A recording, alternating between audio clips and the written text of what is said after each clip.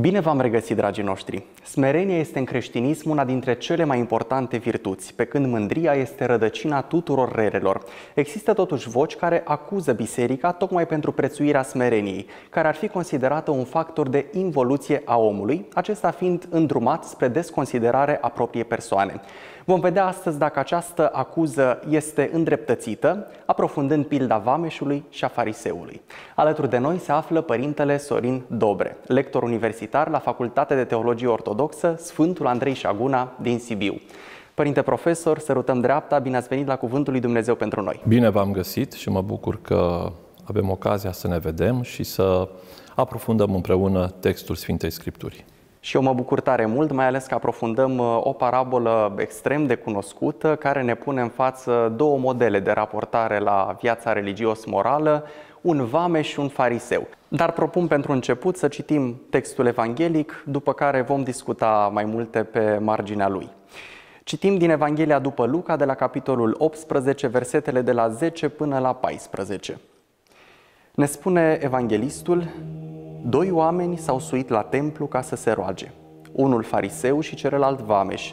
Fariseul stând, așa se ruga în sine, Dumnezeule, îți mulțumesc că nu sunt ca ceilalți oameni, răpitori, nedrepți, adulteri sau ca acest vameș. Postesc de două ori pe săptămână, dau zeciuială din toate câte câștig. Iar vameșul, departe stând, nu voia nici ochii să-și ridice către cer, ci își bătea pieptul zicând, Dumnezeule, milostiv mie păcătosului.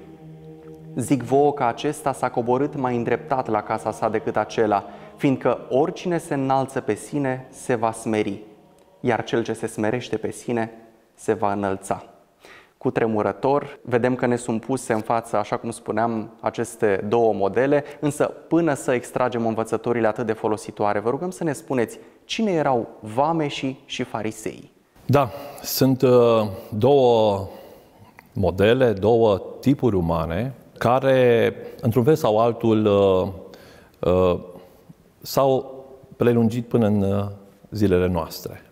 Dar dacă ne referim la partea istorică, fariseii erau o comunitate sau era un partid religios care avea mare influență în rândul poporului evreu, erau conducătorii spirituali, dar și politici ai evreilor, care de-a lungul timpului uh, au avut uh, influențe în uh, felul de organizare, dar au lăsat urme și în Evangheliile Sfinților Apostoli.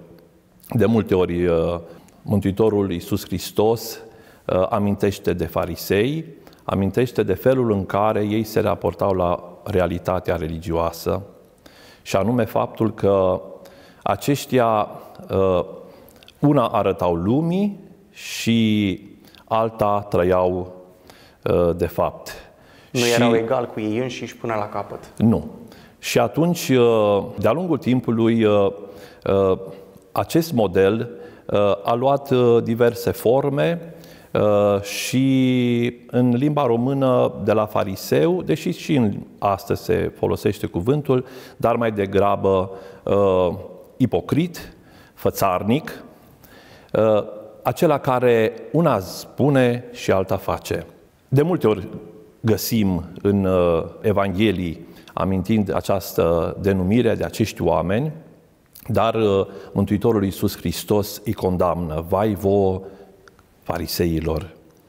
Înțelegând prin aceasta că modelul pe care ei ne-l promovează este un model fals. Feriți-vă de aluatul fariseilor. Mie îmi place acea asemănare a fariseilor cu mormintele, care pe din afară sunt uh, monumentale, dar uh, uh, înăuntru sunt pline de stricăciune.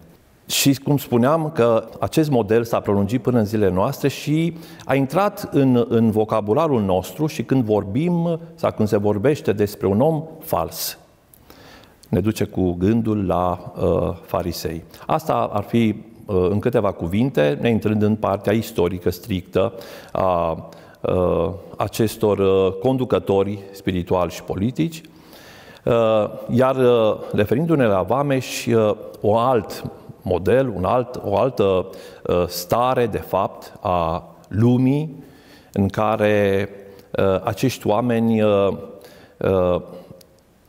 erau puși sau mai degrabă erau îndreptați ca să culeagă birurile, da?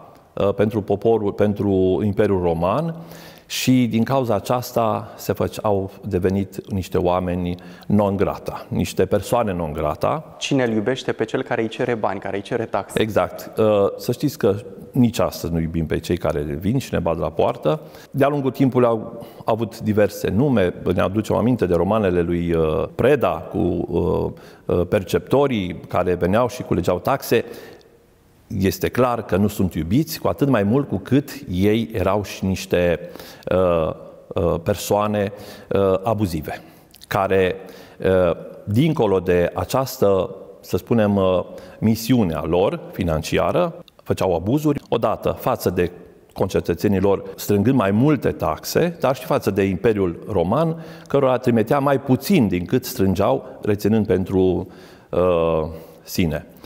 Ei, iată că avem două tipuri umane care sunt, ni se prezintă de către Mântuitorul Iisus Hristos, sunt puse în, înaintea noastră de Mântuitorul Iisus Hristos ca să învățăm de la ei. Cu alte cuvinte, din orice putem să învățăm. De fapt, viața noastră este o continuă învățare. Și dacă suntem atenți și suntem uh, integrați în această realitate duhovnicească, fără îndoială că putem să învățăm din absolut tot ceea ce ne înconjoară. Să vedem ce putem învăța din rugăciunea fariseului. De fapt, nici nu știu dacă o putem numi rugăciune, fiindcă era mai degrabă o dare de seamă, o expunere a vieții lui, care trebuie să recunoaștem nu era una rea deloc. Putem să spunem că întruchipa uh, idealul vieții religioase din acel timp, însă Mântuitorul privește această rugăciune și implicit pe fariseu uh, dezaprobativ, bineînțeles din cauza mândriei. Aș spune cu rezerve. Cu rezerve. E, e mai bine. Pentru că dacă ne referim la final, Mântuitorul ne spune că uh, vameșul pleacă mai îndreptat decât fariseul, cu alte cuvinte, niciunul, nici altul nu pleacă întru totul uh, dezamăgiți de întâlnirea cu Dumnezeu. Dar întâlnirea aceasta este fabuloasă în felul în care noi ne raportăm la Dumnezeu. Și îl vedem pe fariseu care uh, nu face altceva decât să îi amintească lui Dumnezeu cât de bun este și cât de corect. Lucrul acesta îl face să fie pe un prag deosebit de periculos. Pentru că marea greșeală a fariseului este acea prin care ajunge la autosuficiență. Practic, fariseul ne comunică, ne comunică Mântuitorului și nouă tuturor că mare lucru nu mai are de făcut. Că el a ajuns la desăvârșire. Și ne aducem iarăși aminte acum de, de, de uh, uh, părinții bisericii noastre cât de mult vorbesc de desăvârșire și cât de atenți sunt cu acest aspect al felului în care ne raportăm la realitatea vieții. De aceea, Biserica niciodată nu a numit, a canonizat un sfânt în timpul vieții. Pentru că noi suntem pe cale și luptăm până în ultima secundă a vieții. De-abia după aceea, când nu mai avem putința de a greși, se poate face ceva uh, pentru noi în sensul acesta. Dar ne întoarcem la fariseu și îl vedem, iată, uh, plin de sine, uh, arătând că el își face datoria și că poate cea mai mare greșeală pe care a făcut-o și pe care riscăm să o facem și noi este aceea de a ne compara cu celălalt. Noi suntem ființe unice și irepetabile în istoria mântuirii noastre. Și prin aceasta noi trebuie să ne purtăm crucea sau calea, fiecare într-un mod personal și unic. De aceea a ne compara cu cineva așa cum face fariseul, fără îndoială că este o mare greșeală. Deși de multe ori în viață cădem în această greșeală de a ne compara. De a ne compara copiii între ei, de a ne compara noi înșine, carierele noastre, virtuțile noastre, viețile noastre și comparând, fără îndoială că putem să ajungem într-o, într-o slăbiciune sufletească de a ne considera fie superiori sau a cădea în păcatul invidiei când cineva credem noi că este mai presus decât noi. Sau al înjosirii aproapelui, pentru Fără că fariseul îl considera uh, pe vame și o persoană non grata din punct de vedere moral. Așa este. Și ne uităm acum la Vameș, care știindu-și, așa cum spun românii, lungul nasului, cunoscând propriile limite, îl roagă pe Dumnezeu de iertare. Aceasta este lecția pe care uh, Evanghelia ne-o predă, mai ales că această Evanghelie este pusă uh, la începutul unei frumoase perioade liturgice din biserica noastră, perioada triodului, care începe tocmai cu această Evanghelie, cu această duminică și se va sfârși în sâmbăta mare și străbate ca un fir roșu întreaga, această, întreaga perioada postului mare, uh, această idee a smereniei, a pocăinței, a recunoașterii propriile greșeli, ușile pocăinței deschide mie. Așa cântăm în fiecare duminică uh, și de aceea uh, biserica în, în experiența și în înțelepciunea ei pune această parabolă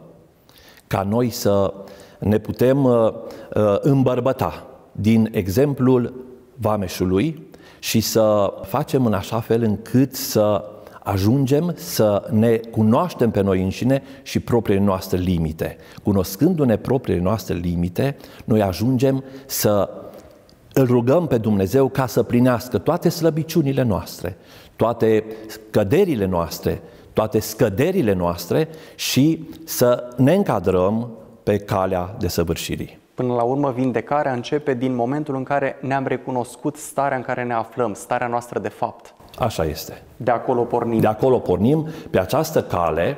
După fiecare cădere, pornim pe o nouă cale de recuperare, de îndreptare și de valorificare a Harului Dumnezeu din noi, pe care îl primim Uh, atât de generos în Sfintele Taine și în Sfânta Liturghie. Legat de rugăciunile celor doi și de felul în care sunt priviți de Mântuitorul, unul cu rezervă, așa cum spuneați, adică fariseul, iar vameșul este privit aprobativ. Oare este de ajuns să fim smeriți pentru ca Dumnezeu să ne treacă cu vederea o viață plină de păcat, iar în cazul fariseului uh, este mândria păcatul care dă la o parte toate faptele noastre bune?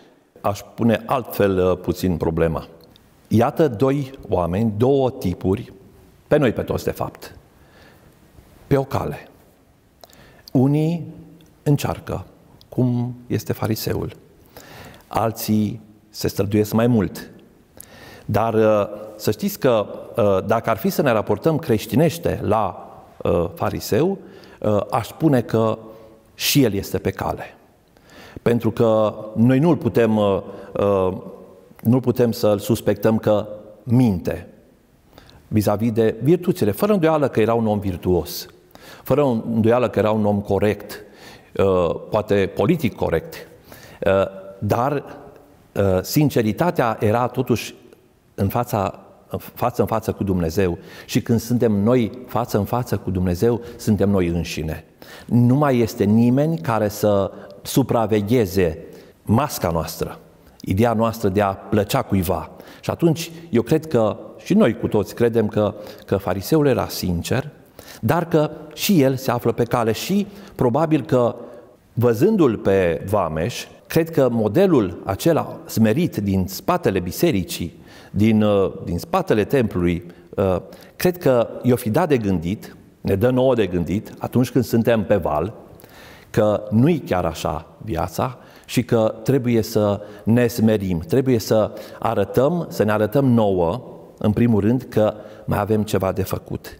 Fiecare are ceva de completat. Fariseul trebuie să fie atent să nu cadă în păcatul cel mare al trufiei, care doboară și, și risipește tot, iar uh, vameșul să nu cadă în, în extrema aceea, să, să creadă că, că Dumnezeu, fără efortul lui, îl va salva.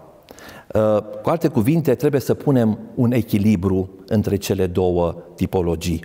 Uh, fariseul să aibă grijă de mândrie și uh, vameșul să aibă grijă de felul în care se raportează la mila lui Dumnezeu. Cred că tocmai în acest lucru constă problema fariseului. Într-adevăr, el poate împlinea toate acele porunci, însă socotea că a ajuns la o stagnare. Ori Sfântul Apostol Pavel spune celui ce stă să ia seama să nu cadă. În momentul în care credem că suntem desăvârșiți, că nu mai avem nimic de făcut, în acel moment am căzut. Noi trebuie să fim tot timpul pe cale, tot timpul în progres, în ascensiune. Așa este. Fiindcă suntem uh, la o emisiune uh, religioasă și ne adresăm anumitor uh, categorii sociale care nu sunt străini de biserică, și care nu sunt străini de acest termen de îmbunătățire, de, de perfecționare sufletească, da, trebuie să recunoaștem și să, să ne aducem aminte că uh, noi suntem uh, într-o continuă căutare, într-o continuă luptă, într-o uh, continuă cale spre desăvârșire. Pentru că altfel uh, am putea să ajungem atât de ușor la autosuficiență și să considerăm că gata, le-am plinit pe toate. Ori ă, această cunoaștere a lui Dumnezeu este infinită. Acest progres al cunoașterii lui Dumnezeu îl facem și în viața aceasta, dar și dincolo.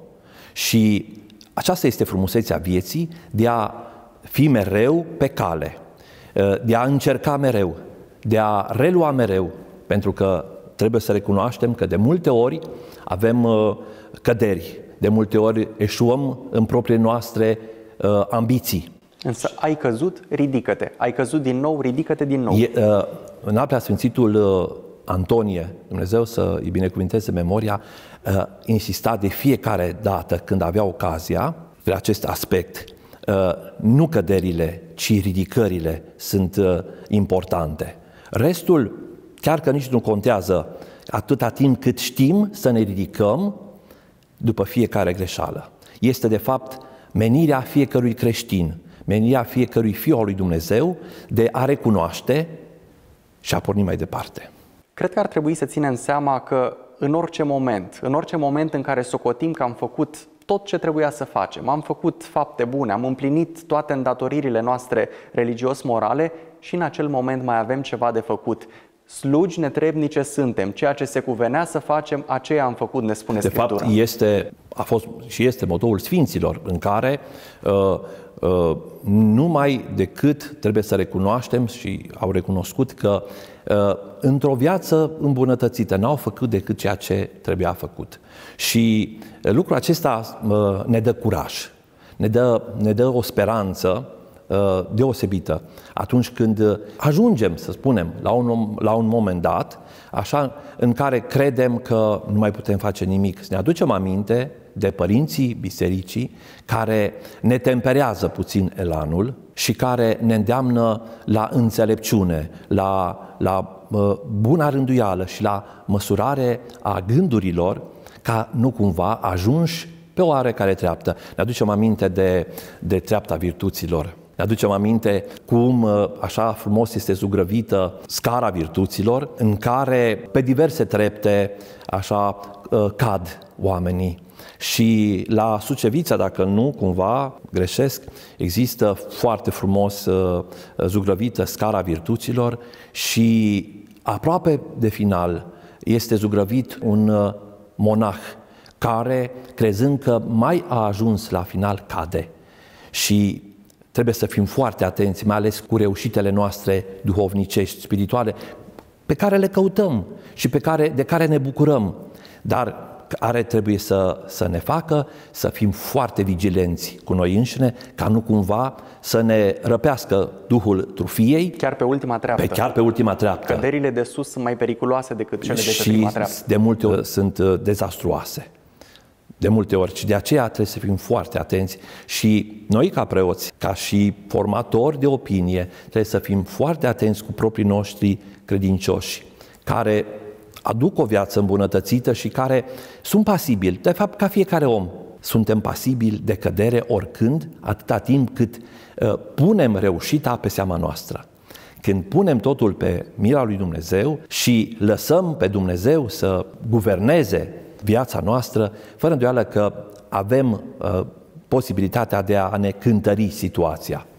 Mântuitorul spune că Vameșul s-a întors mai îndreptat la casa sa decât fariseul. La ce se referă această îndreptare? Fără îndoială că Mântuitorul s-a adresat contemporanilor, se adresează omenirii până la sfârșitul viacurilor și iată că parcă această uh, parabolă a fost scrisă pentru zilele noastre în care uh, noi trebuie să învățăm cum să ne rugăm, cum, ne, cum să ne comportăm. Uh, Mântuitorul spune că a plecat mai îndreptat pentru că vameșul știa ce are de făcut. Vameșul, uh, în momentul acela al recunoașterii, știa că poate se consideră la început de drum și că și în templu, respectiv în biserică, și acasă, vameșul uh, are posibilitatea să se recupereze. Ne aducem aminte de întâlnirea Mântuitorului cu vameșul, cu vameșul Zaheu. Fiecare uh, om îl caută pe Dumnezeu într-un fel sau altul și uh, această întâlnire cu un om proscris, cum a fost Zaheu, este întâlnirea noastră cu Dumnezeu de fiecare dată, cu Mântuitorul Iisus Hristos și înțelegem astfel că Vameșul știa din punct de vedere duhovnicesc unde se află și știa cât de mult are de lucrat în propriul suflet. Mântuitorul Hristos încheie cu o frază cu valoare de maximă, am putea spune una dintre maximele de căpătâi ale creștinismului. Cel ce se înalță pe sine se va smeri, iar cel ce se smerește pe sine se va înălța. Acum, uh, spuneam și la începutul emisiunii că smerenia este extrem de prețuită în biserică, iar unii din timpul nostru condamnă biserica tocmai din această cauză, spunând că smerenia este un factor de involuție umană. Smerenia l-ar îndemna pe om să se desconsidere pe sine, uh, să părăsească uh, încrederea de sine. Este smerenia un factor de involuție umană? Nu. Cred că mai degrabă societatea zilelor noastre confundă smerenia cu umilința. Când uh, vorbim de smerenie, vorbim de un proces personal în care eu mă pun uh, mai prejos decât celălalt. Interesul semenului meu este mai presus decât interesul uh, uh, meu. Uh, egoismul, uh, cu alte cuvinte, uh, este pus la punct cu, această, cu acest termen, dacă vreți. Ori în societatea zilelor noastre uh, vedem că este ca un fel de, de, de concurență, de, de concurs uman în care nevoile celuilalt nu mai contează, sufletele celorlalți nu mai contează, de aceea uh, Mântuitorul spune, fără îndoială, sunt cuvinte extrem de puternice și extrem de, de, de greu de, de pătruns, uh, dar uh, smerenia în momentul în care este asumată personal, ea este o calitate. De aceea societatea confundă smerenia cu umilința și fără îndoială că noi nu trebuie să acceptăm umilința. În momentul în care eu mă smeresc pe mine, atunci îi dau o șansă semenului meu. Și vorbind nu de străin, ci vorbim de familie, vorbim de biserică, vorbim de societate, de comunitate. De la locul pe care îl ocupăm fiecare credincios în biserică, da? este, dacă vreți, uh, felul în care noi ne raportăm la celălalt. Îl las pe celălalt în fața mea, la felul în care ne comportăm în trafic, da? Pentru că suntem, uh, suntem uh, uh, uh, sufocați de, de, acest, uh, de această stare, nu? Uh, uh, felul în care, uh, nu e așa, ne comportăm în, în, în orice clip a vieții. În momentul în care eu dau din coate să devin primul, fără îndoială că atunci am pierdut smerenia. Am pierdut această calitate dumnezeiască de a ne face temperați, de a ne... Uh, smerenia este ca un barometru, ca un termometru sau cum mijloc de, de, de, de măsurare a propriei ființe. În momentul în care noi uh, nu mai știm să ne raportăm la celălalt, atunci fără îndoială că am pierdut relația noastră cu semenul și cu Dumnezeu.